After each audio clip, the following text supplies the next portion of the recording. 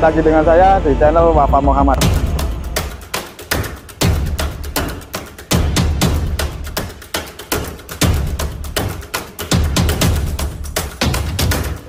Ora upload, ora bayaran.